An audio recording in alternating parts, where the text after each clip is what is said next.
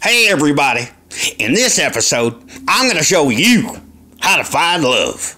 I've got the best do's and don'ts for pickup lines and the top places to meet that special someone. The time is now. Let's get started.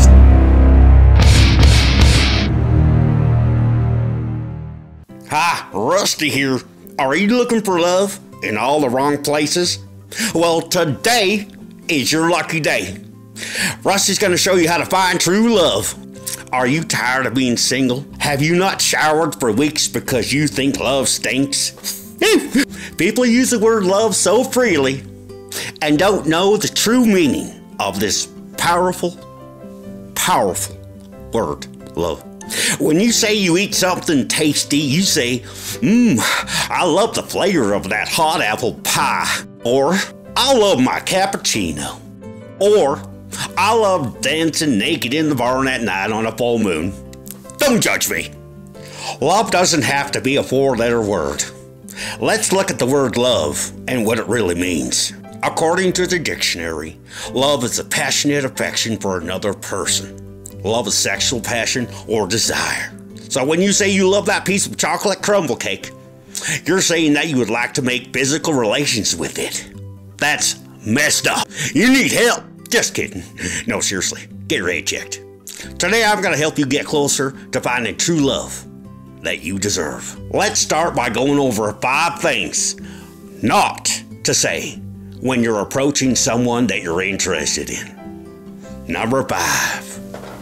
Excuse me, I'm new in town. Can I get directions to your place? Don't say that. I mean, she gave you directions, but they're probably not to her place. Number four. Did it hurt when you fell from heaven?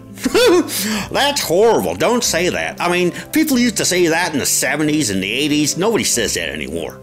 Number three. What's your sign? What's your sign? I mean, this is your sign. I mean, I don't even know what to say to that. Don't say it. Number two. Is it hot in here? Or is it just you? that's actually not bad. Don't use it though. No, you might get slapped. And that's okay. I mean, everybody gets slapped. I mean, my face has been slapped. Number one, if I said you had a nice body, would you hold it against me? okay, that's cheesy as hell. Don't say that one. Those are the top five things not to say, so don't say them. Those are embarrassing even for me to say. Be fresh, be unique. Here are five foolproof pickup lines that are sure to get you attention. Number five. Hi, everybody. Hi. What are you doing here? Hi. Shouldn't you be Rusty, in the barn feeding you the said I horse could or be the in your pigs? show. Uh, you I wanna be in your you're at it. show. Listen, I I want don't want you around Rusty. here. Mama said it's my turn. Rusty. It's my turn to use this room to fill. Now you just need to piss off. Okay, I'm sick of the way you smell. Rusty. I mean, Come on. oh. I wanna tell people something to about my say, brown Randy. collection. Look, everybody, Randy's got something Rusty. to say. Randy, listen, I'm not going to tell you I'm one gonna more tell time. Mom. Why don't you get the f- out of here? Okay? You're not I don't want you around me. I don't like Okay, you. I'll tell you what. You know what? I'm going to Well- tell Mama, and Mama's Well, gonna beat stuff your to hat. Now, get out of here. Sorry, everybody, you had to see that. I know. That's Randy, my little brother, and he is a pain in my arsehole. Let's go back to the top five pickup lines that you're going to use today or tomorrow. E- either way, use them, and you're sure to find true love. Number five, are you from Starbucks? Because I like you a latte. I'm not a latte kind of guy. I like cappuccinos. That's okay. Number four, is your name Google? Because you've got everything I'm searching for. Hmm, classic. Number three, are you a beaver? Cause damn, damn, you know what I'm saying? You just say it like that, and you'll be like, "Ooh, thank you." She's not a beaver, but it doesn't matter. It's a good pickup line. Number two. Two. Number two. Here we go. My lips are like Skittles. Want to taste a rainbow? That's beautiful. I mean, they'll be like, ooh, I love Skittles. Yeah, what's your favorite flavor? It starts a conversation. Number one, my love for you is like diarrhea.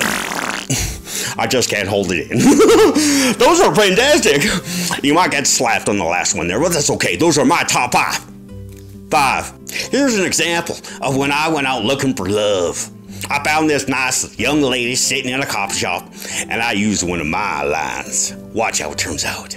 Do you work at You better move Starbucks? Because I like you a latte. Eh? What? You're trying to get beautiful. some? You're sexy. I'm not interested. Smell like flowers. Duh. Cute. I'm beautiful, of course. My name is You know Rusty. this. Boo, Ah. you disgust me. I, I won't take no for an answer. here? You better get away from me, you piece of shit. I'll pick you up I at don't need a man like you. I have my coffee. Try those pickup lines. They're for sure to find you true love. Now, where does somebody go to find that special someone? Not online. You gotta get out into the real world and meet real people. Hi, my name is so and so. I'm eight foot four. I like nice. Nobody cares about that crap. It's too easy to lie. So go meet a real person. Here are the top five places that I recommend where you can go meet that potential life mate and find true love. Number five, the dog park. Don't take your cat there. Things will get hairy. That's my cat's. Uh, Don't get scared. Number four, at the gym, where weights aren't the only thing you'll be picking up. Yeah, do you like my muscles? Number three, the coffee shop. Coffee's not the only thing that's hot. Number two, the bookstore. Unless you're from Arkansas and reading isn't one of your strong suits. Number one, the ice cream parlor. It's one of the only places where I can get away with saying things like, Can I have a lick? Oh, I know that's a little dirty, I'm sorry. I brought extra napkins. I have one last great quote from Robert Frost. The brain is a wonderful organ. It starts working the moment you get up and doesn't stop until you get into the office. Ain't that the truth? Here's a clip from our next episode. Rusty has a real bad zit, and it's huge. And we pop it, and you're gonna be disgusted. Uh, or you're gonna love it. Either way, check it out. I gotta pop this thing, it's gotta go. So I grabbed a needle. Uh, I don't recommend you doing this at home, uh, but if you got to pop it, maybe go to the doctor or something like that. Uh, seek a professional. I, I don't got time for that, so I'm gonna pop it right here and now. Okay, so I got a needle. Hmm. okay, I'm a little scared. Okay. Oh boy. Oh. Oh boy. Oh, is it right there? Right there. Uh, oh. Oh. I bet you can't wait to see it. oh my God, I'll tell you what. Everybody around was throwing up all over the place. I mean, we spent probably about four hours cleaning up puke off the ground. Anyways, remember one last thing. The more you weigh, the harder you are to kidnap. it's true. Remember to like and subscribe so Rusty can yank your chain.